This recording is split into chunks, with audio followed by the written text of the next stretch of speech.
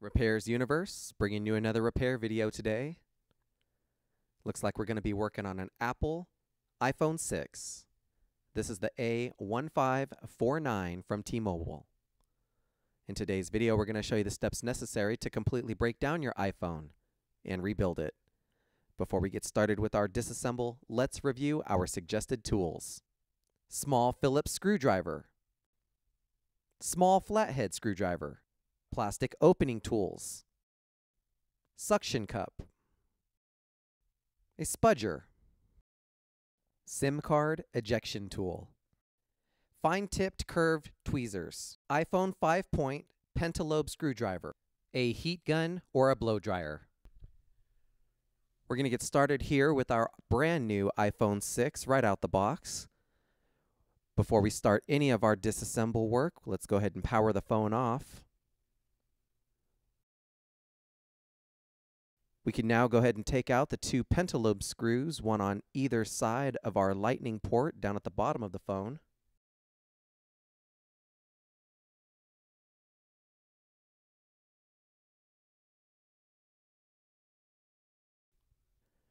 So that we can bring up our display assembly from the base of our phone, we want to go ahead and use a suction cup on the display assembly closest to the home button side of the display and pull that display assembly away from the phone base and you can utilize your fingernail or a plastic opening tool to go ahead and assist bringing the display assembly up.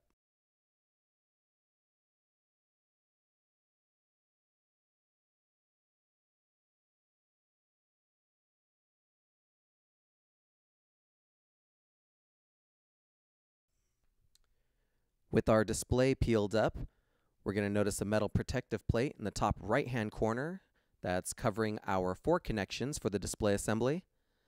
Let's remove the five Phillips screws that are securing this plate.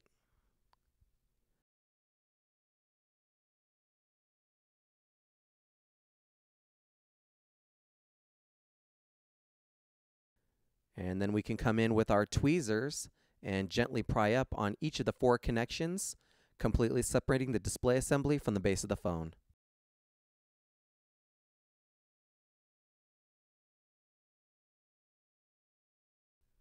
With our display completely removed, let's go ahead and break down each of its components, starting up here at the top with our earpiece speaker bracket, removing the three Phillips screws that are securing it down.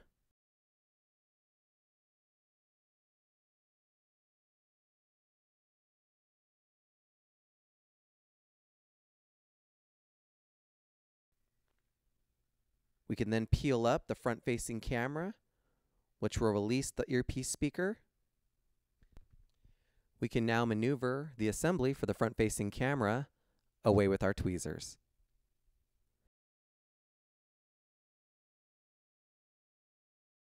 Let's bring our attention now down to the home button, removing the two Phillips screws on either side of the back plate.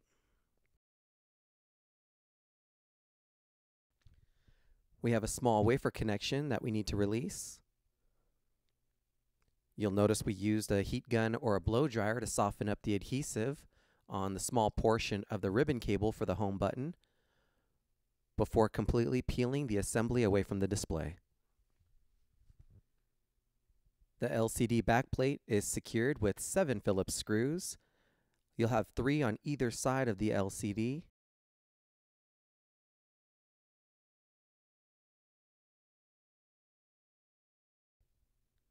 and then one down near the, by the home button that you shouldn't forget.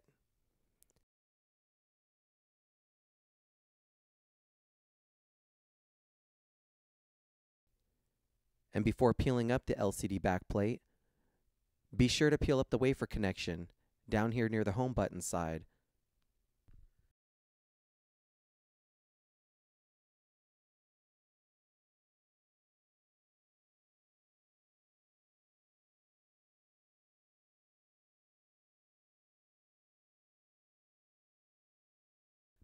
Let's now bring our attention back to the phone, starting with the removal of our battery, the two Phillips screws that are securing the cover plate for the battery's connection,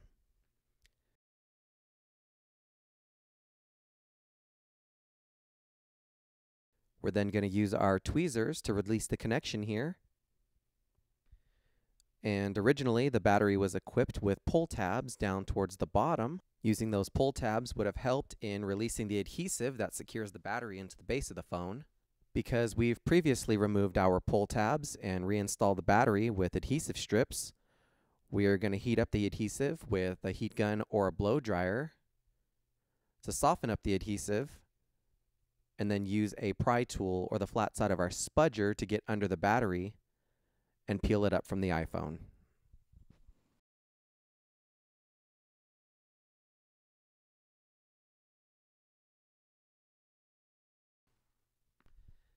Next, you can use your SIM card removal tool or a paper clip to take the SIM card tray out of the side of the phone.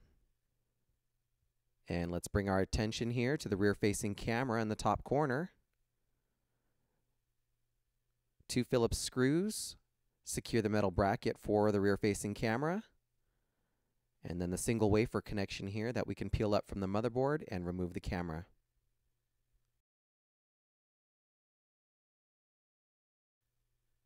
Let's go over to the other corner. We have a protective plate that's securing the connections down for our power and volume buttons we need to get out of the way. Two Phillips screws is going to take care of this.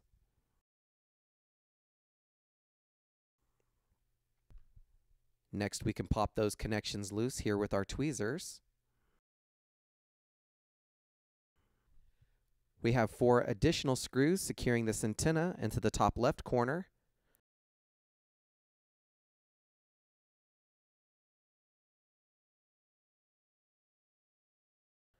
With those screws removed, we can then peel out that antenna using our tweezers. We have a small bracket here secured with two Phillips screws. Let's be sure that when we remove this bracket, we keep track of it as it is very small and it is going to be difficult to remember where it goes upon reassembly.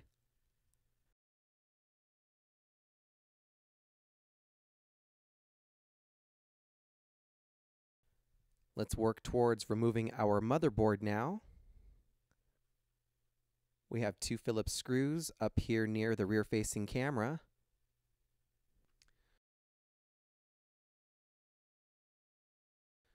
We have a standoff in the middle of the motherboard that we want to remove using a flat tip screwdriver.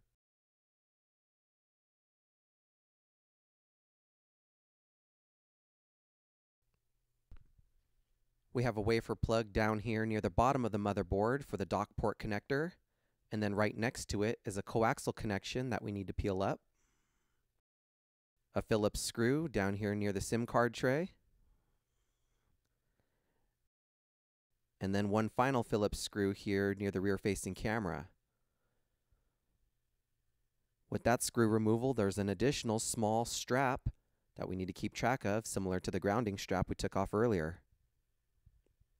With everything removed, we can now carefully maneuver the motherboard out of the iPhone.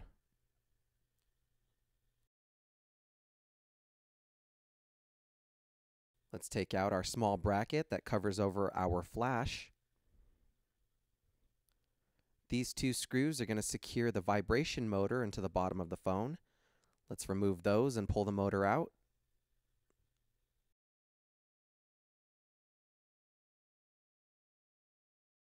Our loudspeaker is going to be next in line.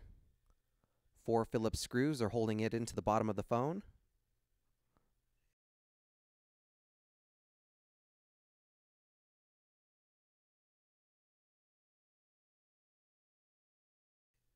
and it should lift right out with the removal of those screws. So our dock port and headphone jack assembly is going to be next. Secured with 9 Phillips screws, we can go ahead and remove.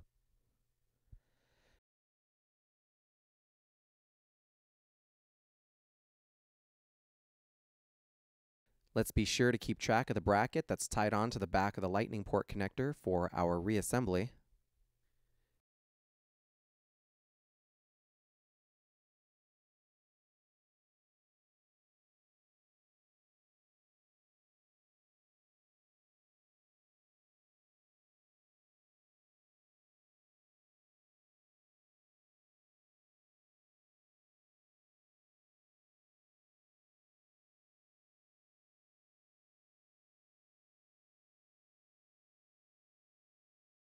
We're going to use a heat gun or a blow dryer to soften up the adhesive to make maneuvering the assembly out of the bottom of the phone a little easier.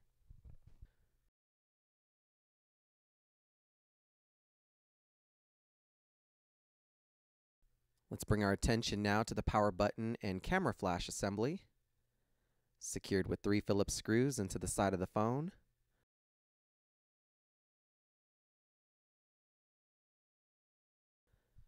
Again, we'll use heat to soften up the adhesive to make peeling up the ribbon cable a little bit easier.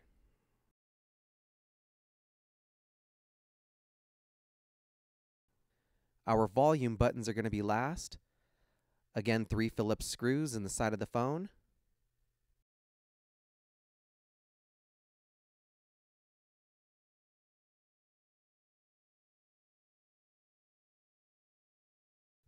And carefully peel up the ribbon cable from the adhesive.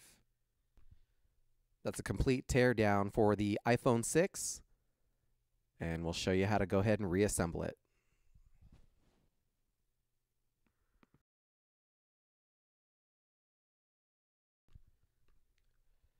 Let's begin the reassembly of our iPhone 6, starting with the power button and camera flash.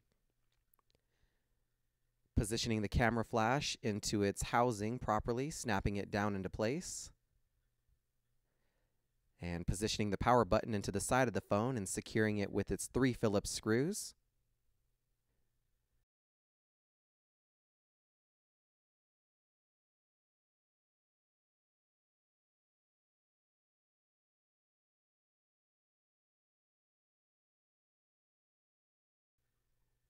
We can then bring in the volume buttons and position them into the side of the phone as well and secure them as well with three Phillips screws.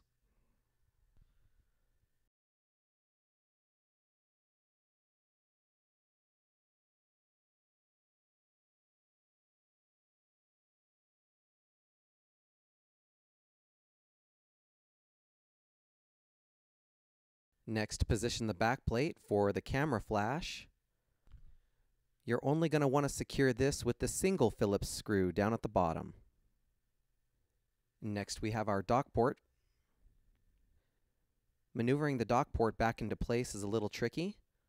You want to start on the headphone jack assembly side first and get that positioned properly.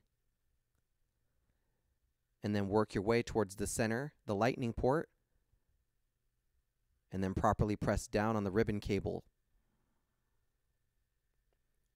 Once the dock port is seated, you can position the bracket that's just behind the lightning port connector and then secure the entire assembly with the 9 Phillips screws.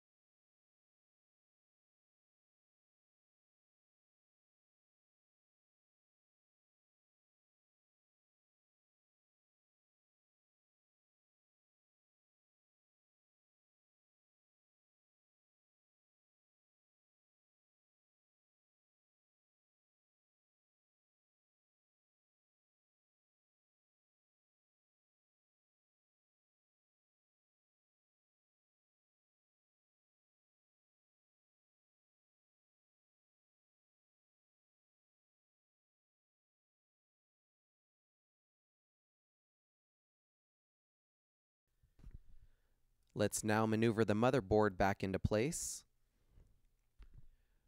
Working our way around the ribbon cables. We can begin securing it with the Phillips screw down here by the SIM card tray first. And then our standoff in the middle of the motherboard. Remember, we have to use our flathead screwdriver for this one.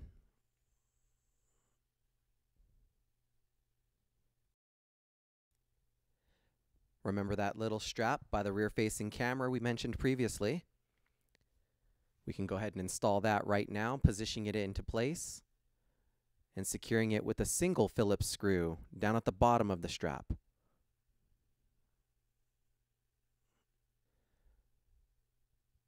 We have another Phillips screw to help mount the motherboard right over top of our standoff.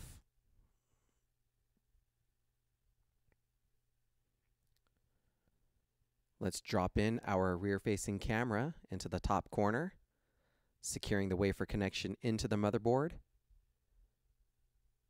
and then installing the back plate over it, securing it with our two Phillips screws.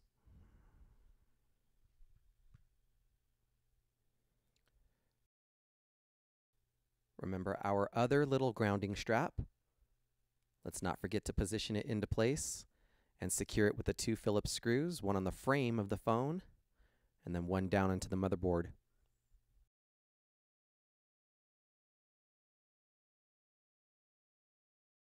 We can now reinstall our antenna and secure it with the four Phillips screws.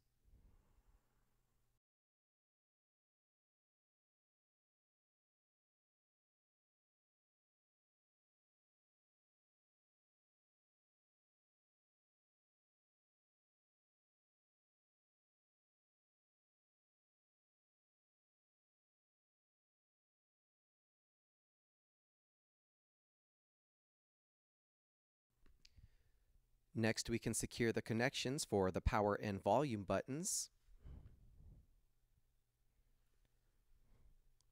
Installing the back plate over top of them, securing it with the two Phillips screws.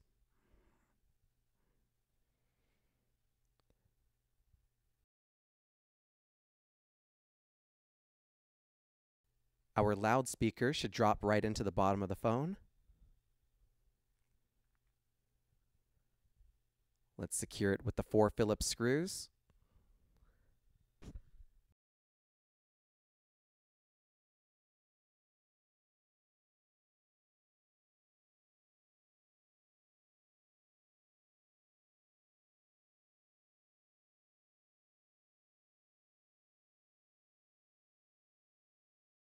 Positioning our coaxial connection plug into place and locking it down into the motherboard.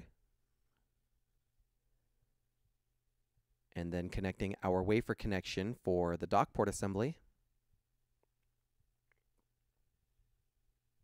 Next, we drop our vibration motor back down into place and secure it with the two Phillips screws.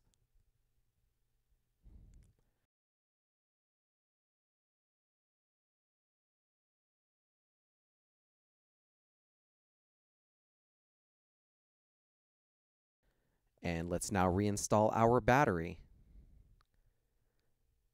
positioning it into place on top of our adhesive strips, and then securing the connection down here. Covering the connection with the metal protective plate and securing it with two Phillips screws.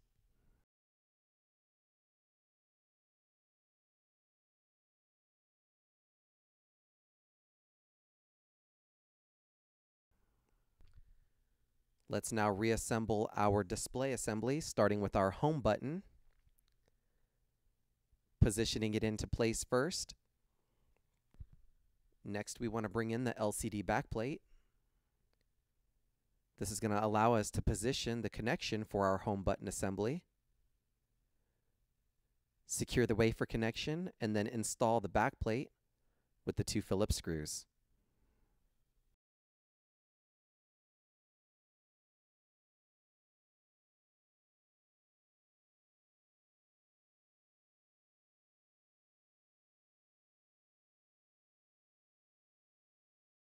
Finish securing the metal backplate with the three screws on either side of the LCD.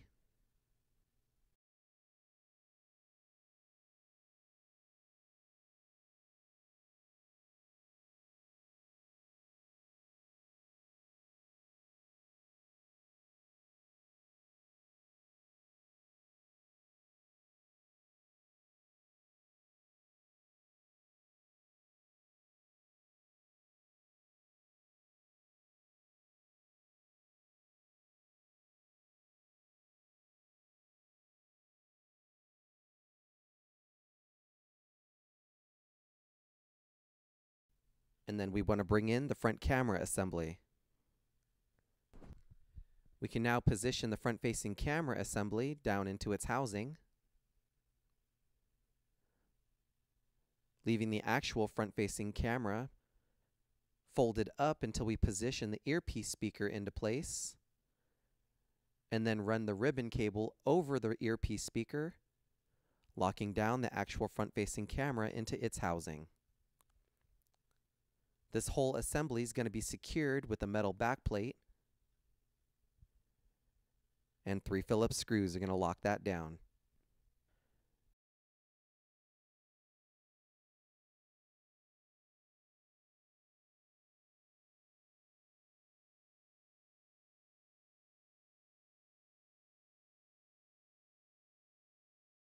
This completes our display assembly that we can now bring back to the base of our phone. Let's position the phone so that we can start securing our connections down for our display assembly.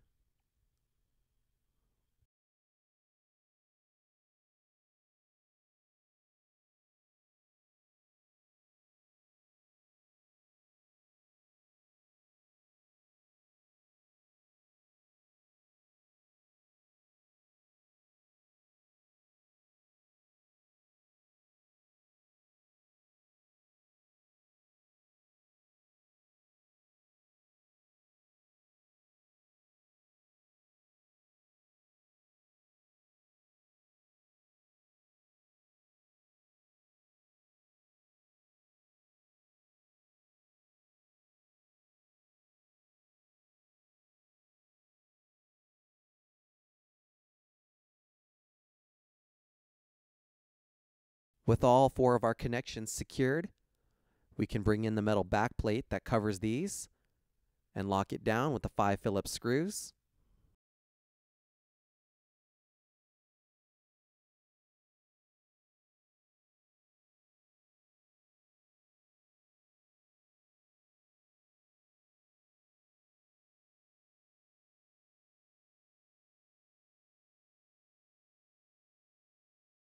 When you're positioning your display back down to the phone, you want to start at the top portion of the display up by the earpiece speaker and position its top hooks into the base of the phone and then continuing to secure the display down the sides of the phone until it's flush all the way down to the bottom. Once the display is flush with the base of the phone, you can reinstall your pentalobe screws, one on either side of the lightning port,